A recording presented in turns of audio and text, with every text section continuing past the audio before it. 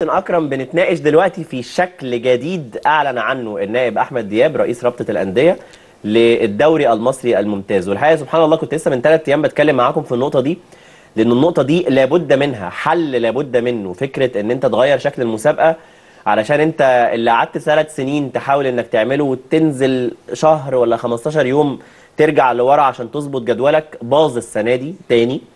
وبقى قدامك حل واحد بس إما إنك تقلل عدد أندية الدوري أو إنك تغير شكل مسابقة الدوري والحل الثاني ده بينقسم لشقين إما تقسيم البطولة إلى مجموعتين ده حل مرفوض تسويقيا والتاني هو اللي بيتعمل في دوري المحترفين. أهلا وسهلا بيك مرة ثانية يا كابتن أكرم. أهلا بيك. شكل الدوري أعلن النائب أحمد دياب دلوقتي إنه هيبقى شبه دوري المحترفين اللي تحت 18 نادي بيلعبوا دور واحد بس.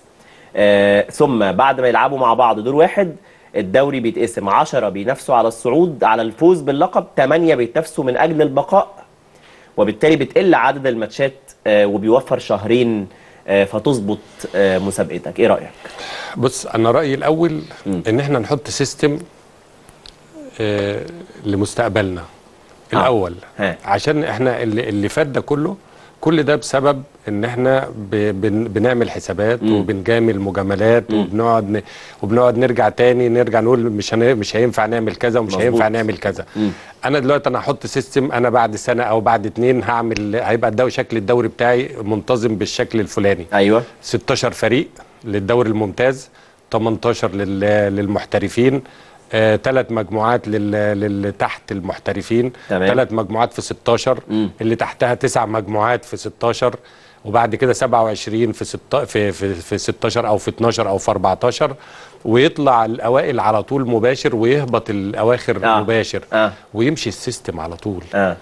انت مركز معايا مركز معاك م- م- مش عايز اقعد بقى كل شوية اصل في دورة ترقي وفي دورة مش فرقه تفضل مش تكافح كل سنة بيتغير حاجة و... ما إحنا إحنا إحنا بيتفصل لو هنقولها باللغة ال... وفصلنا كل آه. شيء آه. يعني إحنا بنقعد نفصل وبنقعد ناخد بنحط اعتبارات آه. وبنشوف ده محتاج إيه صح. وبعدين ده زعلان بنراضيه وده زعلان بنراضيه ما فيش كده في الكورة يا جماعة أنا بحط سيستم ويمشي على الجميع يمشي على كل على الكبير وعلى الصغير أنا بحط أنا بحط دلوقتي أنا أنا عاوز عاوز أوصل ل 16 فريق. خلاص ممكن أعمل موسم استثنائي موسم انتقالي بعد كده أثبت أثبت شكل الدوري. تمام. 16 تمام. 18 1 16 1 18 3 16 أيوه.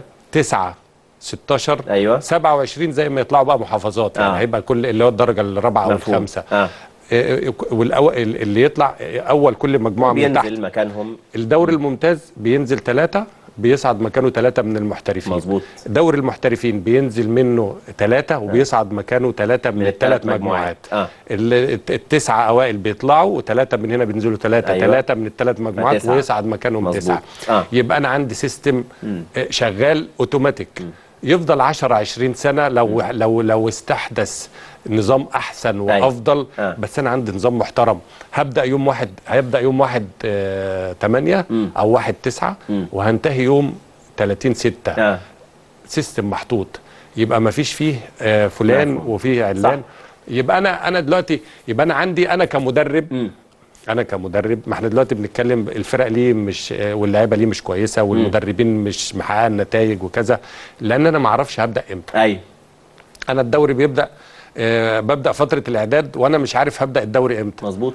وبعدين قبل الدوري بأسبوع آه، أو بأسبوعين يقول لك الدوري هيبدأ آه، يوم آه، 30 آه، 9 أو 30 10 أو 1 11 أو آه، مش عارف نص 11 مش كده. امم طيب هشرح لحضراتكم حاجة إن النقاط اللي بيتكلم فيها كابتن أكرم دي مهمة جدا. لكن آه، أكيد في سؤالين بيطرحان دلوقتي. اولا هل الفكرة دي طرحت قبل كده؟ نعم. ورفضت قبل كده وقال لك الأندية رفضت وده لغاية السنة اللي فاتت كان بيطرح. آه، سبب الرفض كانت الأندية بتقول لك لا أنا عقبال ما بدخل في المود بتاع البطولة هلاقي إن الدور الأول خلص فبالتالي أنا بعد ما بنافس وفرصة إن أنا أبقى في الدوري لمدة 34 جولة فجأة بتتحول لدور واحد وشكرا أنت بتلعب من أجل البقاء فالأندية اعترضت. آه، رقم اتنين في بعض الأندية سألت وقتها وده الاعتراض اللي حصل ما بين حتى أهلي وزمالك كانوا طرفين في القصة دي. الأهلي يقول لك أنت لما تدخل الدور الثاني اللي هو لما بعد ما يبقى فيه صعود تتويج وهبوط تطلع بنقاطك. والزمالك ساعتها قال لا نبدأ دورة جديدة من الثمانيه فحصل الخلاف ده وما كملش. إيه بقى الوضع الراهن؟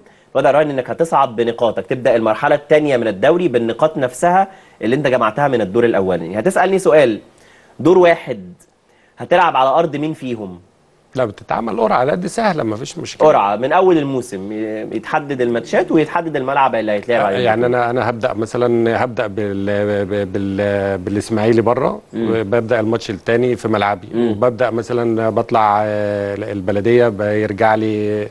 عادي زي اي آه، زي بشكل أي- طبيعي بشكل طبيعي. بتتعمل، آه. لكن الدور الثاني بقى بياخد اللي بيتقسم الأربعة العشرة الأوائل بيرجع أيوة. نعمل قرعة تاني. تمام. حتى ليه؟ لأن أنا ممكن الفرق اللي أنا طلعت لها كلها بره هي اللي تبقى معايا فوق. آه مظبوط. فأرجع أطلع لهم تاني ولا أدخل لهم تاني؟ فإيه اللي يحصل بقى؟ قرعة ثانية قرعة تانية. ممكن في المرتين ألعبهم على ملعبهم. على اطلع أطلع تمام. لنفس الفرقة. مرتين. آه.